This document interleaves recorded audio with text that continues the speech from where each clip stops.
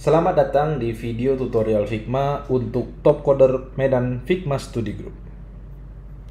Pada materi kali ini, kita akan membahas mengenai tampilan awal saat kita membuka file design. Seperti yang teman-teman lihat pada layar yang teman-teman buka pada video tutorial kali ini, kita sedang melihat tampilan file desain Figma saat pertama kali dibuat. Oke, saya akan jelaskan satu-satu ya, satu persatu. Uh, di bagian atas ini kita tahu namanya adalah toolbar. Di bagian tengah ini atau area tempat kita akan bekerja nanti kita sebut dengan canvas. Di bagian kiri ada layers di bagian sebelah kiri ini akan ada bagian-bagian seperti objek atau frame atau page apa saja yang berada di satu dokumen ini. Kemudian sebelah kanan adalah property panel yang tampilannya akan berubah-ubah sesuai dengan objek yang sedang aktif. Oke. Kita langsung saja membahasnya. Oke kita bisa lihat di menu sebelah kiri ada menu Figma-nya. Teman-teman bisa pelajarin sendiri ini nanti fungsinya. Atau kita akan bahas di tutorial berikutnya. Berikutnya ada Move Tool. Ini fungsinya untuk memindahkan objek. Kemudian ada Frame Tool untuk membuat frame. Kemudian ada Shape Tool Kemudian ada pen tool, ada text tool, plugin atau resource ya. Di sini kita bisa menggunakan komponen plugin atau widget yang disediakan oleh tim kita atau dari community Figma. Kemudian ada hand tool dan kemudian comment untuk memberikan feedback ke desain yang sedang kita buat. Kemudian di sini ada title projectnya atau title file desainnya. Ini untitled karena belum kita kasih title. Kita akan kasih title yaitu tutorial Figma. Seperti ini teman-teman. Ya tinggal diklik aja.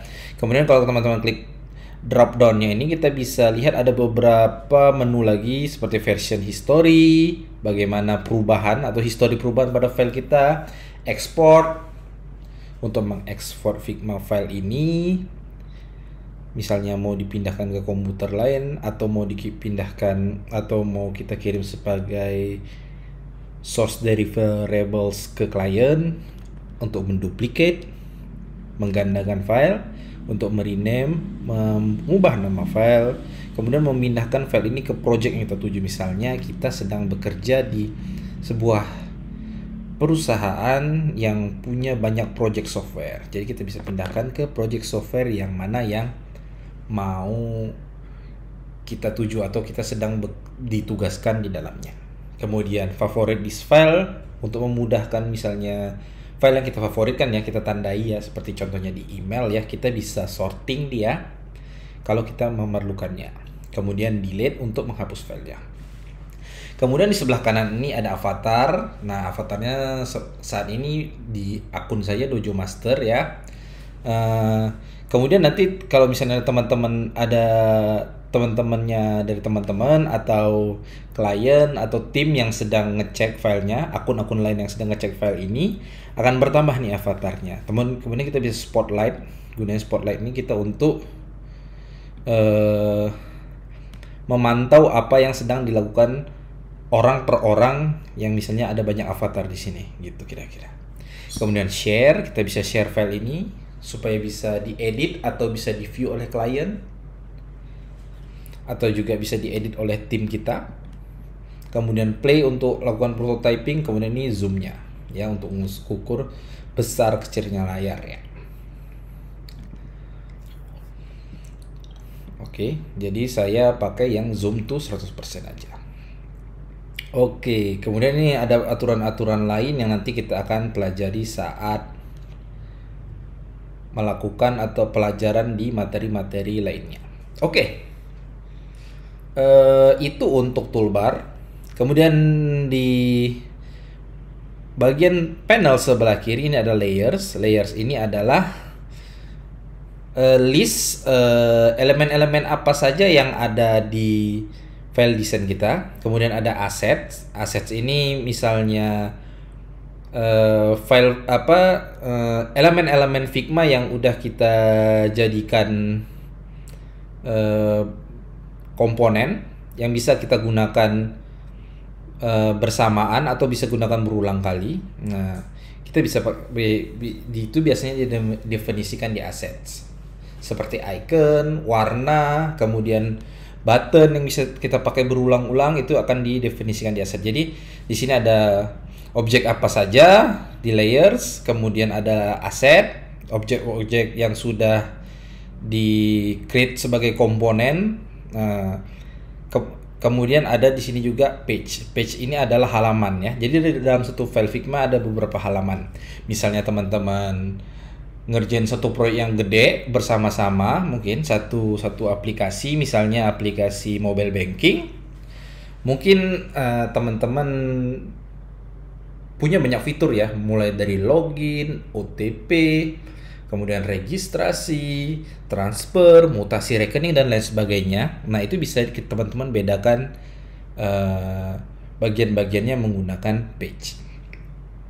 Dan menu di sebelah kanan ini adalah uh, seperti yang kita jelaskan tadi adalah property panel. Dia akan berubah sesuai dengan objek mana yang kita tuju. Misalnya saya buat sebuah rectangle di sini. Nah, ketika ketika ketika kita klik uh, akan muncul properti dari rectangle ini. Ketika kita klik sembarang tempat tidak akan muncul apa-apa, hanya muncul background karena dia akan karena ini merupakan properti dari kanvas kita ya, kanvas tempat kita bekerja. Jadi background tempat kita bekerja ini juga bisa kita ganti-ganti warnanya. Seperti itu. Kemudian prototype, ya misalnya kita akan lakukan prototyping. Misalnya kita mau lakukan perubahan objek atau perpindahan halaman dari halaman satu ke halaman yang lainnya, kita bisa melihatnya di panel ini.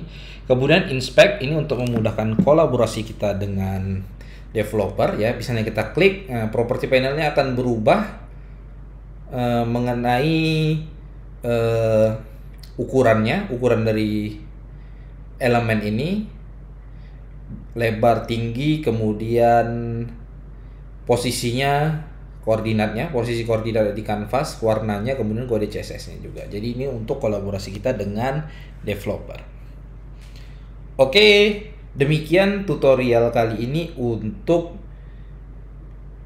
materi kita mengenai tampilan awal saat membuat file design. Kita bertemu lagi di materi berikutnya. Terima kasih.